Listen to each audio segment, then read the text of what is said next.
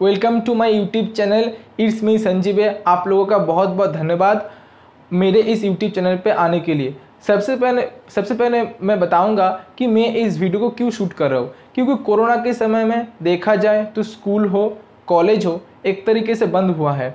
तो मैं इस वीडियो के ज़रिए से मैं भूगोल की सभी विषयों पर वीडियो डालकर मैं सभी छात्रों और छात्रियों को बीच में ये वीडियो देना चाहता हूँ और मेरा शिक्षा को और भी सभी के बीच में ले जाना चाहता हूँ। तो सबसे पहले आज हम इस वीडियो में बात करेंगे आर्थक्विक वेब के बारे में। आर्थक्विक वेब क्या होता है? उसके बाद हम बताएँगे सिस्मोलॉजी क्या होता है ओरिजिन इसका एवं सिस्मिक वेब के बारे में हम भी बताएँगे। सबसे पहले आर्थक्विक वेब क्या होता है? जानेंगे। आर्थक्विक वेव वो वेव होता है जो आर्थक्विक से उत्पन्न होता है। आर्थक्विक वेव मतलब आर्थक्विक से उत्पन्न हुए वेव को कहता है आर्थक्विक कहाँ से वेव उत्पन्न होता है? फोकस फोकस फोकस क्या होता है? फोकस वो प्लेस होता है जिस प्लेस से आर्थक्विक का ओरिजिन होता है। उस स्थान को और उस प्लेस को कहते हैं फोकस फोकस से ही एनर्जी रिलीज़ होता है और उस एनर्जी वेव में कन्वर्ट हो जाता है। तो ये है आर्थक्विक वेव। इसके बाद होता है सिस्मोलॉजी। सिस्मोलॉजी क्या होता है? Seismo plus logy. Seismo plus logy दो शब्दों से बना है सिस्मोलॉजी। सिस्मोलॉजी क्या है? The science. एक विज्ञान। किसका विज्ञान? The study of the seismic wave. अर्थात वो वैज्ञानिक अध्ययन। किसका वैज्ञानिक अध्ययन? Seismic wave. अर्थात भूकंप के तरंगों की वैज्ञानिक अध्ययन को ही कहते हैं सिस्मोलॉजी। तो सिस्मोलॉजी क्या हुआ? The science the study of the seismic wave इसको कहते हैं सिस्मोलॉजी। सब इसके बाद होता है आर्थक्विक वेव कैसे ओरिजिन होता है? आर्थक्विक वेव कैसे ओरिजिन होता है? हमने पिछले वीडियो में देखा था कि आर्थक्विक क्या है फोकस क्या है और एपिसेंटर क्या है। अब हम देखेंगे इसका ओरिजिन कैसे होता है आर्थक्विक का। आर्थक्विक ओरिजिन होता है, उस प्लेस को कहते हैं फोकस फोकस से ही सडन इलास्टिक एनर्जी रिलीज़ होता है और उस एनर्जी वेव में कन्वर्ट होकर चारों तरफ़ फैल जाता है और उसी से ही बनता है आर्थक्विक वेव आर्थक्विक वेव तो इस किससे, कैसे ओरिजिन होता है? ओरिजिन होता है सडन रिलीज़ ऑफ़ एनर्जी कहाँ रिलीज़ होता है? फोकस पर। वो फोकस से ही तरंगों की उत्पत्ति होती है। इसके बाद हम बात करेंगे सिस्मिक वेव क्या होता है। सिस्मिक वेव, हम मैंने पिछले भी बोला था, सिस्मिक वेव वो वेव होता है जो आर्थक्विक के दौरान उत्पन्न होता है फोकस से। और फोकस पृथ्वी के सरफेस से नीचे होता है 700 किलोमीटर के बीच में फोकस रहता है किसी भी की डेप्थ में। तो सिस्मिक वेव क्या होता है? वो वेव जो आर्थक्विक के दौरान उत्पन्न हो, उसको सिस्मिक वेव कहता है। इस वेव का चित्र आप देख सकते हैं किस तरीके से। वेव एक मॉडल है। इसके बाद हम देखेंगे सिस्मिक वेव इसको दो कैटेगरी में विभाजित किया जा सकता है। पहला तो है बॉडी वेव सेकंड है सरफेस वेव तो वेव को उसका लोकेशन के अनुसार उसको दो भागों में विभाजित किया जा सकता है। Body wave and surface wave body wave क्या होता है? बॉडी वेव वो वेव होता है जो फोकस से जेनरेट होकर फोकस से उत्पत्ति होकर पृथ्वी के बॉडी अर्थात पृथ्वी के अंदर ही चलता है। उस वेव को बॉडी वेव कहता है और सरफेस वेव का किसको कहते हैं? जो सरफेस पे, अर्थात पृथ्वी की भूपृष्ठ मतलब पृथ्वी के सरफेस के ऊपर जो वेव चलता है, उसको सरफेस वेव कहता है। इसके बाद हम देखेंगे कि बॉडी वेव को दो विभाज दो भागों में विभाजित किया जा सकता है। फिर से प्राइमरी वेव और secondary wave primary and secondary primary क्यों? हम जा, हम जानते हैं जो फोकस से वेव उत्पन्न होता है वो चारों दिशा में फैल जाता है। और पृथ्वी के जो सरफेस होता है वहाँ पर हर एक मॉडल एक स्टेशन होता है। कौन सा स्टेशन सिस्मिक स्टेशन होता है। वहाँ पर एक इंस्ट्रूमेंट रखा जाता है। उस इंस्ट्रूमेंट का नाम है सिस्मोग्राफ वो सिस्मोग्राफ रिकॉर्ड करता है सिस्मिक वेव को। तले, वो जो इंस्ट्रूमेंट सिस्मोग्राफ वो पहला जो सिस्मिक वेव को रिकॉर्ड करता है, इसको कहते हैं प्राइमरी वेव अर्थात प्राइमरी वेव सरफेस में सबसे पहला पहुँचता है इसको कह, इसलिए इसको कहते हैं कि इसको प्राइमरी वेव सेकेंडरी वेव किसको कहते हैं? सेकेंडरी वेव प्राइमरी वेव की पहुँचने की चार पाँच सेकेंड बाद सेकेंडरी वेव जाके पहुँचता है।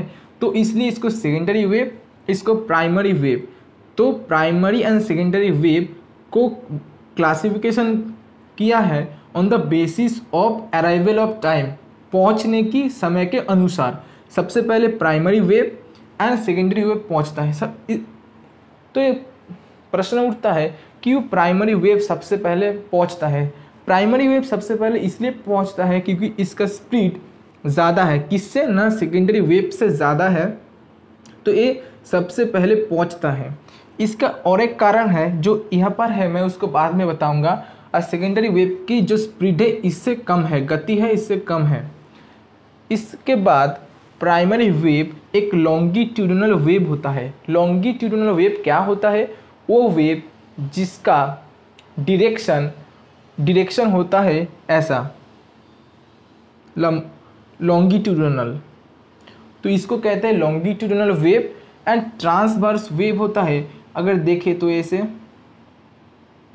तो up down up down up down तो इसको ट्रांसवर्स वेव एंड इसको लॉन्गिट्यूडनल वेव ये दो कंसेप्ट मैं पिछले जो बोर्ड है उसमें समझाऊँगा अच्छी तरीके से। और है, और एक चीज़ है वेव का डिरेक्शन होता है। सभी वेव का एक डिरेक्शन होता है, एक दिक होता है। और वो जिस दिक से वो जाता है, और उसी तर उसी दिक व उसी डिरेक्शन में वाइब्रेशन भी होता है। मतलब अगर कोई रॉक अगर कोई रॉक के body body of rock a wave air direction wave pass बस उसके भीतर से जा रहा है तो वो वाइब्रेशन होके जाएगा। तो लॉन्गिट्यूडनल वेव का वाइब्रेशन का डिरेक्शन उसका वेव के डिरेक्शन से पैरेलल है। अर्थात वाइब्रेशन वाइब्रेशन का डिरेक्शन उसका वेव का डिरेक्शन से पैरेलल है और ट्रांसफ़र वेव का, इसका ए है वेव डिरेक्शन और उसका वाइब्रेशन का डिरेक्शन परपेंडिकुलर है 90 डिग्री तो इसको ट्रांसवर्स वेव कहता है। अर्थात उसका वेव का डिरेक्शन और उसका वाइब्रेशन का डिरेक्शन के साथ 90 डिग्री कोण बनता है, इसलिए इसको ट्रांसवर्स वेव कहता है। उसके बाद प्राइमरी वेव को आर पी वेव कहता है। कि पी वेव क्योंकि a primary P for primary तो इसको प्राइमरी वेव कहता है secondary wave S for secondary wave for S wave primary for P secondary S wave इसके बाद प्राइमरी वेव को साउंड वेव कहता है और सेकेंडरी वेव को लाइट वेव क्यों? साउंड एंड लाइट साउंड की जो कैरेक्टरिस्टिक है, उसका जो फीचर्स है, उसके साथ प्राइमरी वेव का फीचर्स सेम होता है. लाइट वेव का जो फीचर्स होता है सेकेंडरी वेव के साथ सेम होता है। तो इसको लाइट और साउंड वेव कैसे चलता है? लॉन्गिट्यूडनल लाइट वेव ट्रांसवर्स उसके बाद हम देखेंगे कि प्राइमरी वेव प्राइमरी वेव अगर उसका चलने का गति देखा जाए तो उसका गति डेंसिटी के साथ रिलेशन है। कैसे रिलेशन है? अगर प्राइमरी वेव चलेगा, तब अगर प्राइमरी वेव का वेलोसिटी ज़्यादा है तो इसका मतलब है जो रॉक है व मेटेरियल है, उसका डेंसिटी भी ज़्यादा है।